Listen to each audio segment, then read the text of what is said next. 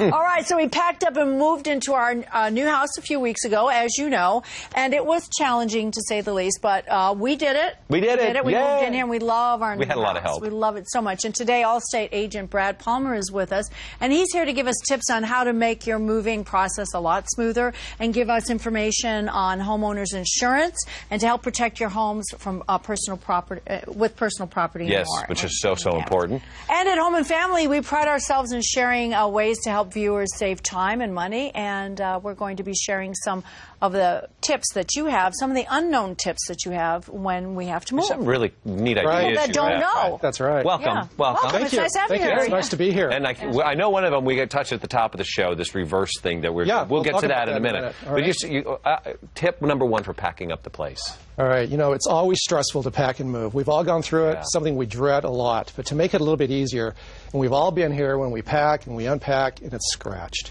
And Mm-hmm. uh, it's, it's terrible when we do that. But all of your high tech items, your TV entertainment, your odd shaped items, any of your valuables, get specialty boxes from a mover.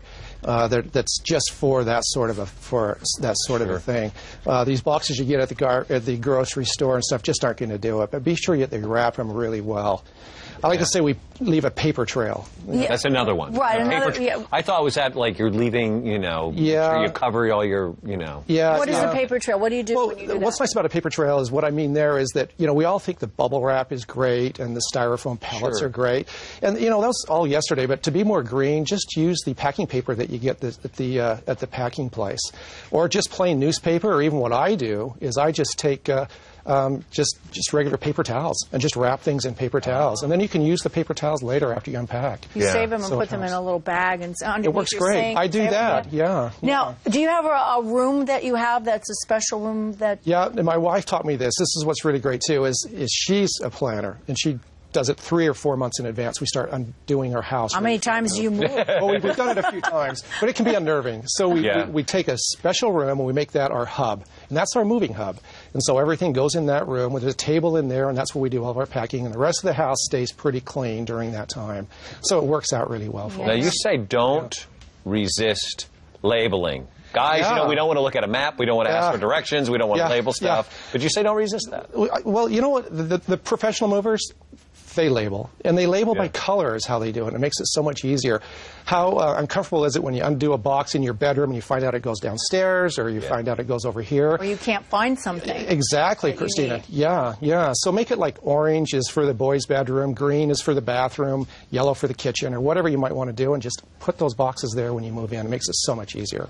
Okay, so I want to talk about this reverse, but anything that has a Yeah. party in it, I want Yeah. to. Hear. So, what is this reverse party home, home party? th- just a fun thing that you might want to try doing. Um, your last party in your last home. Invite all your friends over, and as you're clearing out the attic and some of the cupboards, you're going to find a lot of things there that you haven't even known you've had for 20 years. It's been sitting in there. Aunt Betty gave it to you some time ago, but you don't want to haul that to your new home and just put it back in the attic there.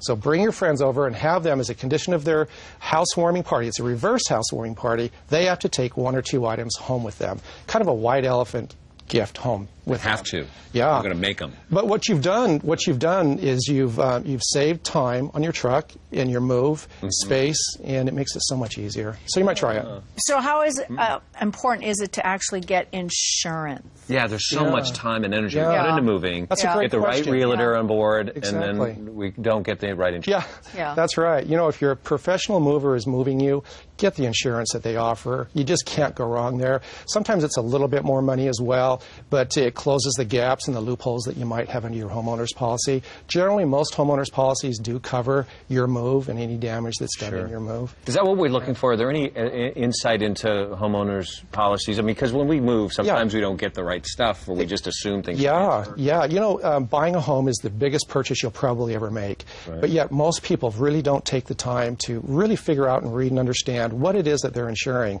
You know, I think we spend more time in the in the grocery aisle trying to pick out the right uh, spaghetti sauce than we do Sure. Even looking for insurance. And it's not a 15 minute deal. Meet with an agent, um, sit down with an agent, and use the professional advice which they give you so that you can be properly protected.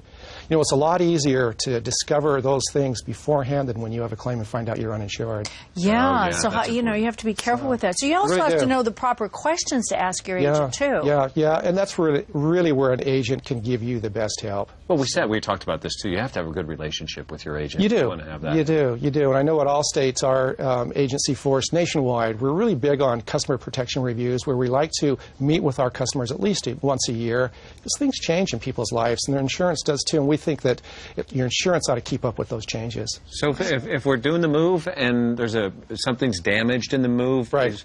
Is- what covers that? Our homeowners? Yeah, your homeowners will cover, Will cover that. Or if you've purchased the insurance through the moving company, that's extra coverage. Good idea to too. get both? I think so. That'd be, that Make redundant sure- coverage is certainly not going to do you do you wrong at all. Sure. Well, you know what? Speaking of parties, Yeah. we're going to have a Super Bowl party. Well, good. You Yeah, stick around? Yeah, we're I'd gonna do love that. to see the I'm going to Yeah. teach you how to put fruit in a helmet. There you go, Christine. So I'd we're going to to. do that. Okay.